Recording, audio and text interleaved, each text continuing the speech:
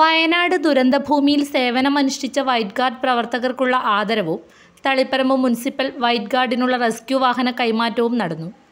തളിപ്പറമ്പ് മുസ്ലിം league പ്രവർത്തകർ എന്ന WhatsApp കൂട്ടായ്മയാണ് ആദരമൊരുക്കിയതും വാഹനം നൽകിയതും.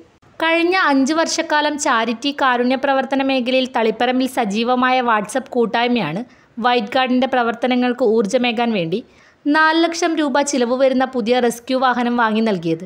വയനാട്ടിൽ ദിവസങ്ങളോളം രക്ഷാപ്രവർത്തനം നടത്തിയ തളിപ്പറമ്പിലെ എട്ട് വൈറ്റ് ഗാർഡ് അംഗങ്ങളെ ചടങ്ങിൽ ആദരിച്ചു. റിക്രിയേഷൻ ഹാളിൽ നടന്ന ചടങ്ങ് മുസ്ലിം യൂത്ത് ലീഗ് വൈറ്റ് ഗാർഡ് സംസ്ഥാന കോർഡിനേറ്റർ ഫൈസൽ ഭാഗവി തങ്ങൾ ഉദ്ഘാടനം ചെയ്തു. കെ വി അഷ്റഫ് അധ്യക്ഷത വഹിച്ചു.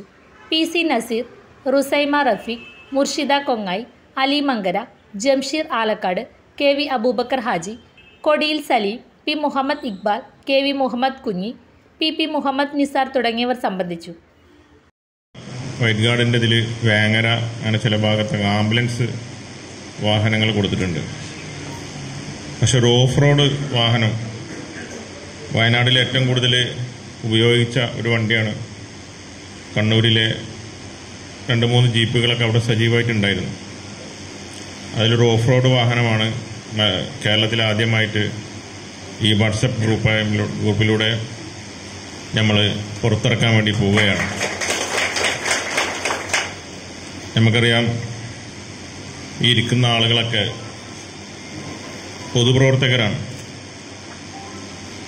പൊതുപ്രവർത്തകർ ഇന്ന് കേരളത്തിൽ പൊതുപ്രവർത്തകർ കുറഞ്ഞുകൊണ്ടിരിക്കുകയാണ്. രാഷ്ട്രീയ പ്രവർത്തകരുണ്ട്. ലീഗിനൊക്കെ കുറേ രാഷ്ട്രീയ പ്രവർത്തകരൊക്കെ ഉണ്ട്. പക്ഷെ പൊതുപ്രവർത്തകർ എന്ന് പറയുമ്പോൾ ഇപ്പോൾ വാർഡ് കൗൺസിലർമാർ ചെയർപേഴ്സന് വാർഡിലെ ആളുകളുമായിട്ട് ഭയങ്കര ഇടപഴകി അവരെ വിഷമങ്ങൾ അറിഞ്ഞ് അവരായിട്ട് ഇടപഴകുന്ന ആളുകൾ ചിലപ്പോൾ കൗൺസിലർമാരുണ്ടാവും. അതിന് കൊല്ലംപറമ്പിൽ ബോർവെൽസ് ചെറുപുഴ കുഴൽ കിണറുകൾ ഏറ്റവും കുറഞ്ഞ നിരക്കിൽ നിർമ്മിച്ചു നൽകുന്നു. മാസ്റ്റർ ഡ്രില്ലിംഗ്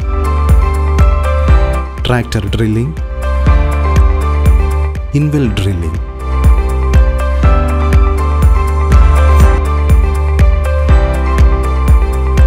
കുഴൽ കിണറുകൾക്ക് കമ്പ്യൂട്ടറൈസ്ഡ് സ്ഥാനനിർണയം കേരള സർക്കാർ അംഗീകൃത ഏജൻസി.